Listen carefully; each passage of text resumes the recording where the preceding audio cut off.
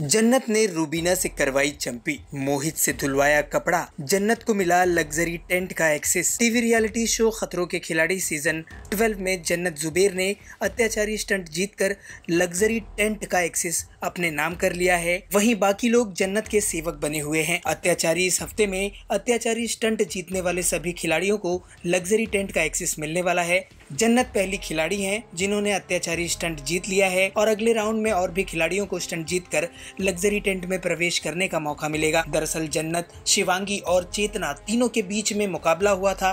Stunt तीनों में से कोई भी पूरा नहीं कर पाया। जन्नत ने अत्याचारी स्टंट में बेहतरीन प्रदर्शन दिखाया, इसलिए उन्हें विजेता घोषित किया गया। शिवांगी और चेतना को फेयर फंदा मिल चुका है। वहीं फैजल शेख ने अगले खतरनाक स्टंट से पहले हुए अत्याचार में हिस्सा ही नहीं लिया, इसलिए उन्हें डायरेक्ट एलिमिनेशन स्टंट के लिए फेयर फंदा मिला है। जन्नत को मिले लग्जरी टेंट में खाने पीने का लग्जरी सामान मौजूद है, आराम करने के लिए बेड और गद्दे लगे हुए हैं।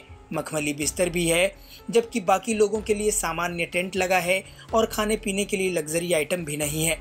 जन्नत को ये मौका मिला कि वो बाकी बचे कंटेस्टेंट्स में से अपने सेवकों को चुन सकती थी। जन्नत ने रुबीना को अपनी चंपी करने की ड्यूटी दी और मोहित को कपड़ा धोने के लिए कहा। तो वहीं रुबीना जन्नत की चंपी करते हुए और मोहित मलिक जन्नत का कपड़ा धोते हुए नज़र आए हैं। ऐसे में ये कहना गलत नहीं होगा कि इस सीज़न काफ़ी कुछ नया देखने को मिल रहा है। इससे पहले खतरों के खिलाड़ी में ऐसा देखने नहीं मिला था।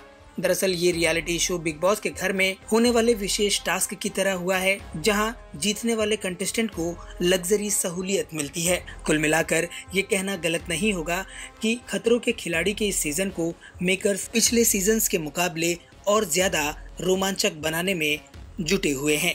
टीवी और इंटरटेनमेंट से जुड़ी इसी तरह की खबरें लगातार पाने के लिए आप जुड़े रहिए हमारे चैनल से और अपनी प्रतिक्रिया कमेंट्स के ज़रिए हम तक ज़रूर पहुँचाएँ।